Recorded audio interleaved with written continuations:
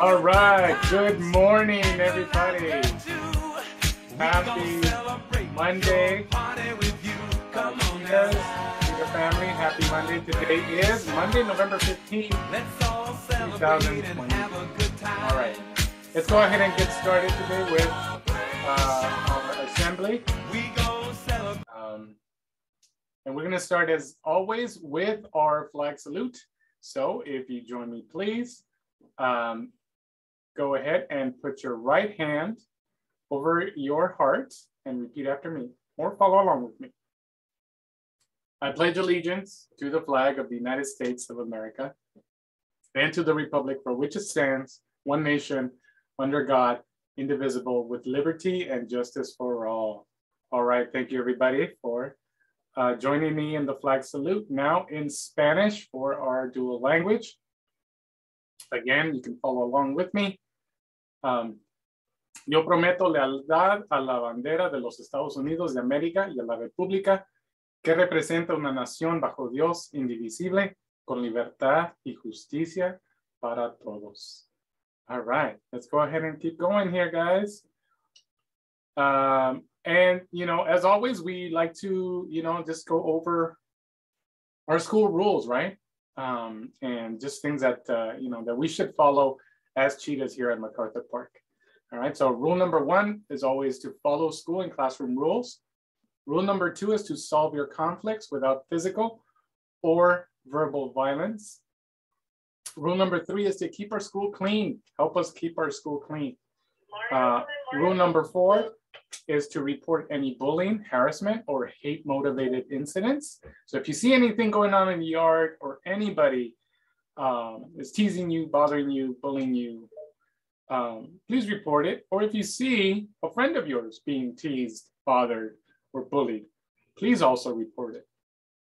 Okay, because we don't, you know, we we don't tolerate that, right? And we want to make sure that everybody here at school is happy and having a good time learning. That's our our our priority, right? Keeping you safe and enjoying your learning. All right, and then rule number five, uh, display good sportsmanship. So always display good sportsmanship.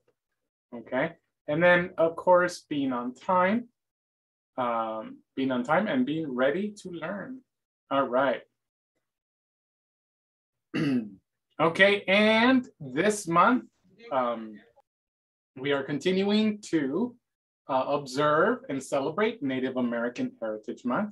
So with uh, Native American Heritage Month, um, this week, we are looking, we're taking a close look at the Chumash of Southern California. So the Chumash um, is a tribe, they're still around by the way. Um, there's about, uh, I, I know I read there's about 500 people that are uh, still, you know, descendants, uh, direct descendants of the Chumash, um, still living around our Los Angeles area. So, um, you know, they are a local tribe um, and they lived in, in the area extending from San Luis Obispo uh, to Malibu. So that's quite, quite an area along the coast, okay, along the beach uh, front. Um, and of course, they also included four of our uh, Northern Channel Islands. Okay, the Chumash uh, hunted and gathered natural resources from both the ocean and the coastal mountains. So you could say that the Chumash were also a seafaring tribe um, because they did go out to the ocean a lot. They were quite, you know, pretty good fishermen as well. Um, so, you know, very interesting stuff about the Chumash. They also navigated between the islands and back and forth to the mainland. So again, they were seafaring. So they, you know, they would go between islands and also the, the mainland of California or, Cali or the California coast. Okay. And they would use these sort of canoe looking boats, right? Uh, called tomols. And you can see in the picture there, um, these four gentlemen here are in the tomol, right? And so they, it looks like they're going out fishing. All right, so we're gonna watch a short video about the Chumash and the use of their tomols. So we're gonna watch this two minute video very quickly. Let me go ahead and play that for everybody.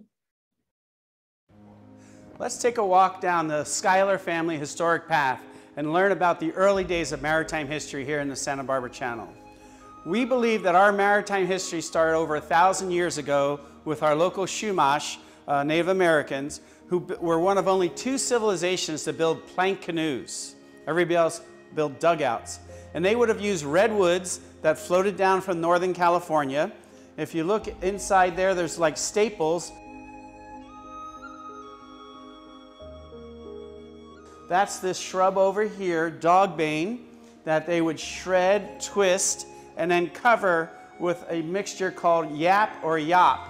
And that was pine tar and asphaltum. And that was also used to seal these planks together. They would have built these on a beach just east of Santa Barbara uh, that is now known as Carpinteria, so named because the carpenters were building these tomols there.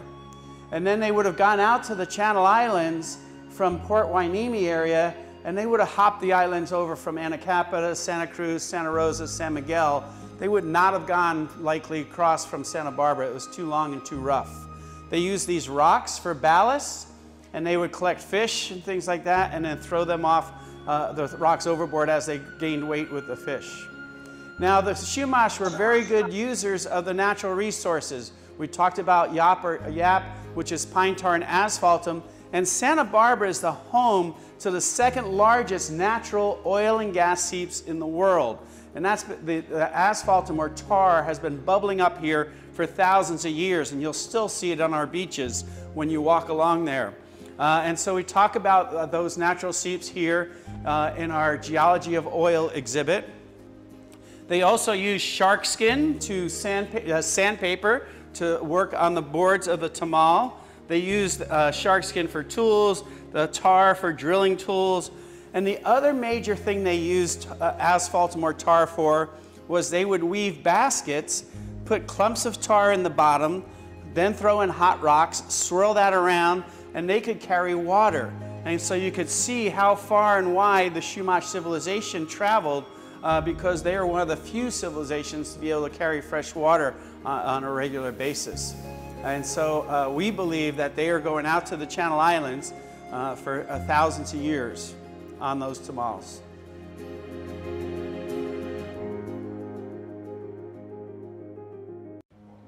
Let's take a walk down the Schuyler family historic path. All right, so that was uh, the Chumash and some information about the tomols that they used.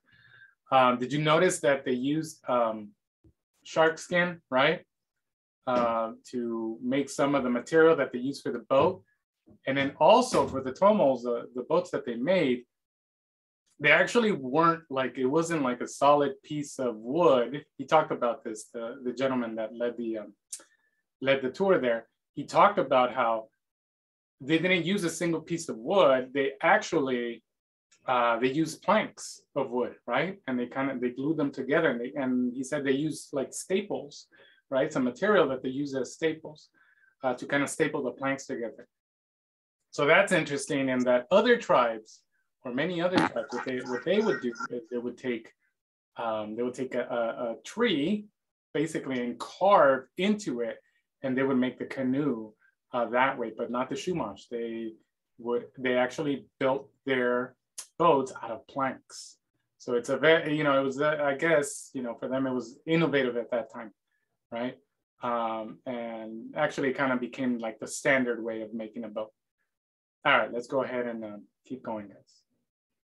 All right, there's a new segment um, this week that we're starting up.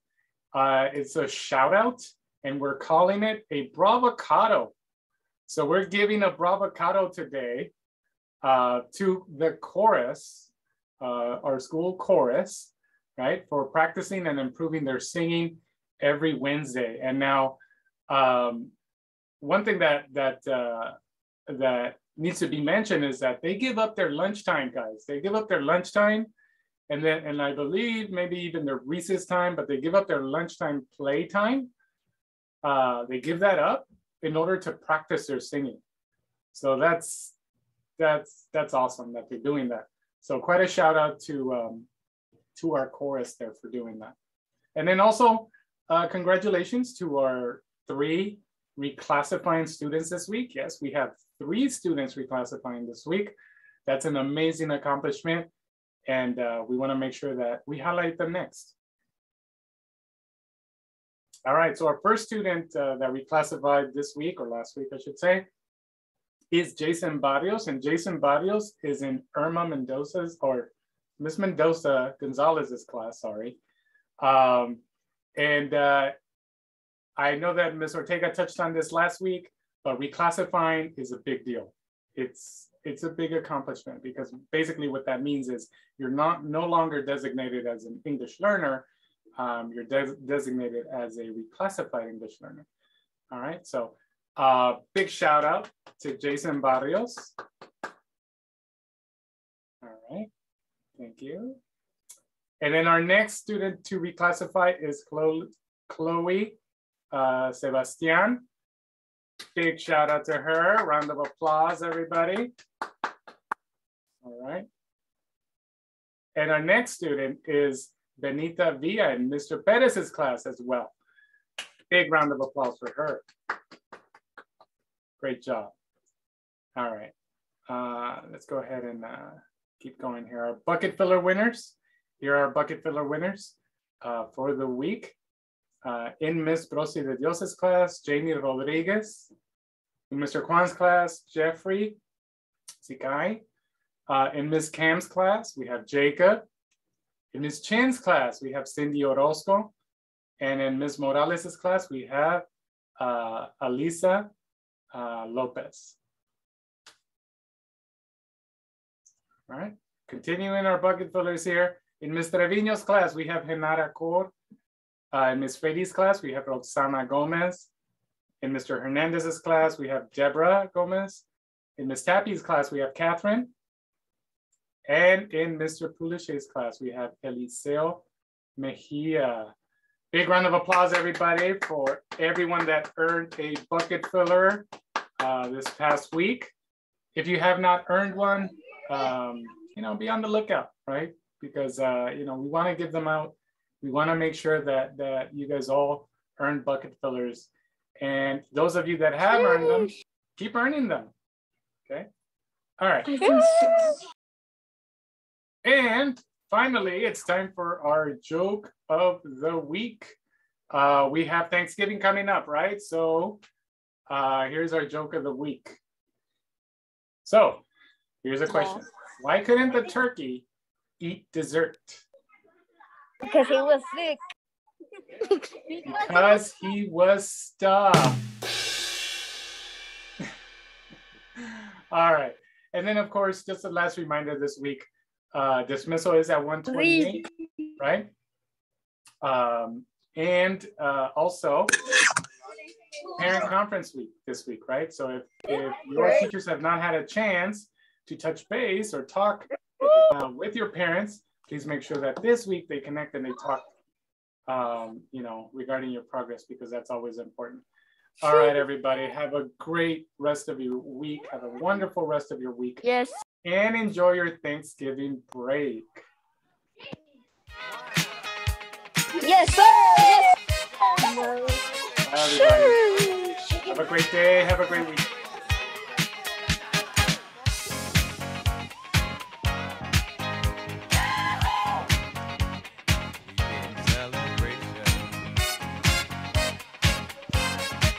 Bye, see you next week.